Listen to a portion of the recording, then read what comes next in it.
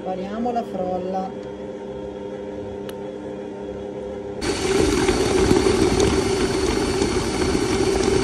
Frolla pronta adesso la metto in frigo.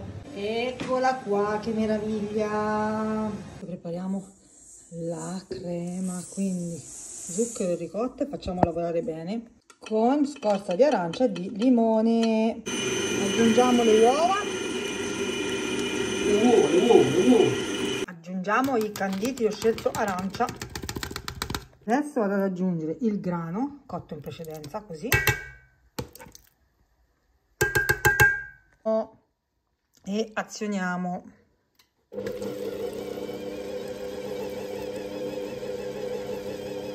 Adesso aggiungiamo gli albumi e mescoliamo dal basso verso l'alto così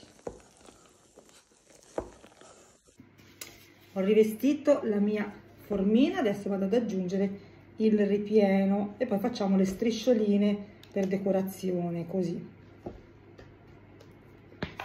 E adesso in forno